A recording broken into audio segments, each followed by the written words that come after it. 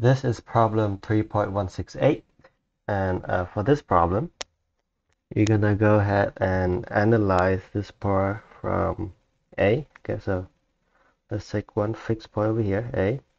I'm gonna analyze this guy. So this is the original length, right? Original. And then there's the uh, distributed axial load so let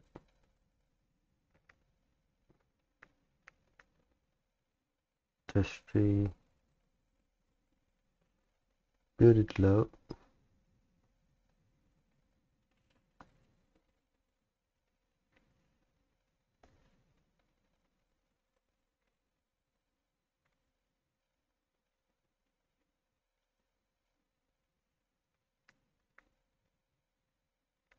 then you're gonna have something like this let's say. And I'm gonna call this guy let's say uh, delta t for tensile um, I mean E as well it doesn't really matter. Cat or dog whatever that is. Okay? And then anyways uh, with another one with the reaction for the B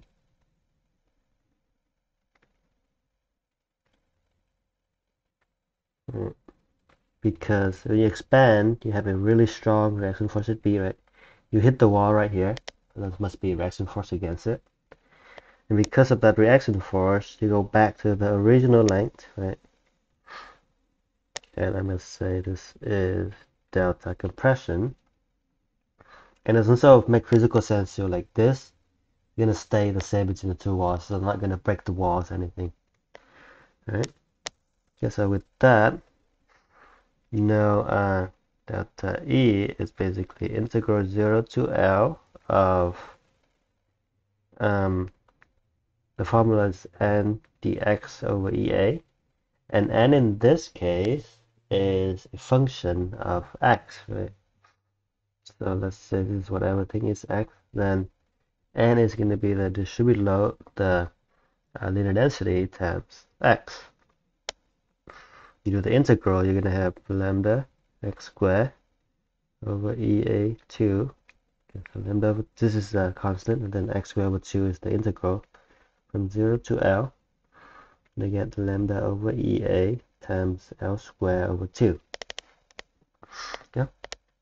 And then as you calculate for uh, compression, this one B is just a constant, so you can just use the formula. Um, B times L over EA. And from this, you can tell that this guy is the same as this guy, right? The the uh, distributed load make it expand this much, and the reaction force make it compress this much, and that amount is the same, just to fit with the constraint, from the physical constraint of the problem. So delta E equal to delta C which means lambda over EA times L squared over 2 equal to BL over EA. This cancel out, uh, this cancel out. So you have B equal to uh, lambda times L over 2. Then what is lambda?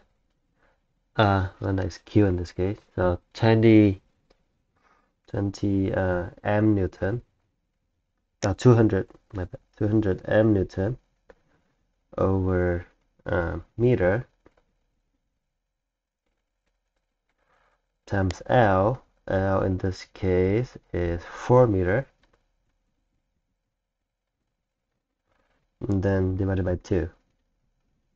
So, and then cancel out do the math it's basically uh, 400 mn that's the reaction force at B. And reaction force at B should be equal to the reaction force at A. If you do the equilibrium right be like this and A has to be like this so it has to be the same um, magnitude And so uh, get B like this, and A has to be the same, just for equilibrium in the x direction. Oh wait, never mind. I take it back. I think I forgot one thing. Forgot the distributed load. Oh, okay, so I actually have to do that.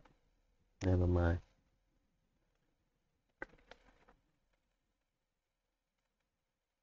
Yeah, so this is the free body diagram. And then, uh, okay, so in x direction, you have A plus, um, this is L, so lambda times L minus B equals 0. Therefore, A is basically B minus lambda L, which B is 400.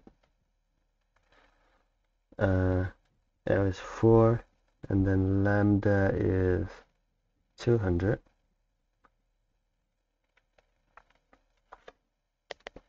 excuse me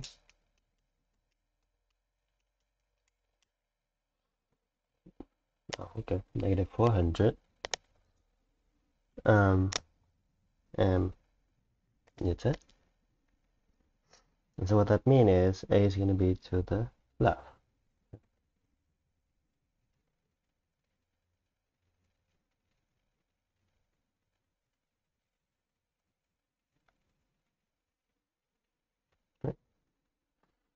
and that will be the uh, final solution to this problem.